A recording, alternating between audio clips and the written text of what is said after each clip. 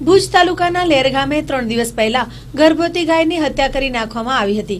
આ હત્યાના બનાવ બાદ ત્રણ દિવસ સુધી હત્યારા પકડાયા નથી. ત્યારે કુકમાં લેર સહિત આજુબાજુના દસથી બાર ગામોના અને હિન્દુ સમાજમાં ભારે રોષની લાગણી વ્યાપી ગઈ છે. ત્યારે આજે ગાયની હત્યા કરનાર હત્યારાને પકડી પાડવા માટે અખિલ ભારતીય ગૌરક્ષા મહાસંઘના ઉપક્રમે મોટી સંખ્યામાં હિન્દુ ભાઈઓએ અને સંસ્થાના પ્રતિનિધિઓએ ઉપસ્થિત રહી અધિક કલેક્ટર શ્રી ડી આર પટેલને આવેદનપત્ર પાઠવવાનો કાર્યક્રમ યોજ્યો હતો.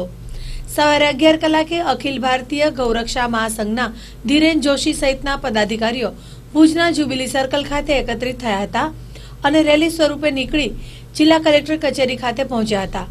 જ્યાં ભારે સૂત્રોચ્ચાર પોકારવામાં આવ્યા હતા અને ત્યારબાદ અધિક કલેક્ટર શ્રી ડી આર પટેલને આવેદનપત્ર આપ્યું હતું.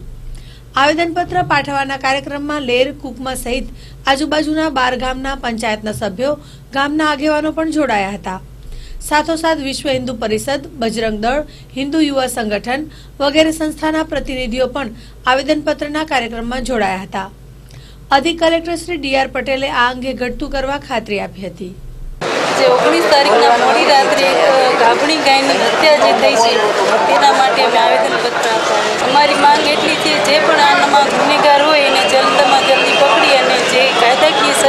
સજા કરવામાં આવે. અમને વિશ્વાસ છે, તંત્ર અમારી સાથે છે, સાંભળે છે, જ્યારથી બનાવ બન્યો છે, ત્યારથી તંત્ર અમારા ગામમાં ખડે પગે ઊભું છે અને યોગ્ય રીતે એને સજા અપાવશે એવી અમને ખાતરી છે. આજરોજ કુકમા ગામની બાજુમાં આવેલ લહેર ગામમાં જે બે દિવસ પહેલાં જે બનાવ બન્યો છે, જે એક ત્રણ, ચાર મહિનાની જે ગાભણી ગાય હતી, એની નિર્મમ હત્યા કરવામાં આવી છે અને હત્યામાં જે કોઈ સંડોવાયેલ હોય, એની સામે કડકમાં કડક કાર્યવાહી કરવામાં આવે. એના માટે અમે રજૂઆત કરવા આવ્યા છીએ.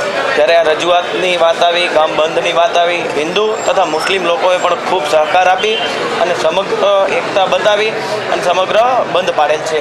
ત્યારે અમે તંત્ર પાસે એવી રજૂઆત કરવા આવ્યા છીએ. સમગ્ર આઠ દસ ગામના લોકો છે. આગેવાનો છે કે ભાઈ, જે કોઈ હત્યારાઓ હોય, વિદર્ભીઓ હોય, એની સામે કડકમાં કડક કાર્યવાહી કરવામાં આવે અને કોઈ પણ સમાજની હિન્દુ કે મુસ્લિમ સમાજની એકતાને ક્યાંય નુકસાન ન પહોંચે, એ રીતે જે કોઈ ગુનેગારો હોય, એના સામે કડકમાં કડક કાર્યવાહી કરવામાં આવે એવી સમગ્ર વિસ્તારની અને અમારી સૌની માંગણી છે.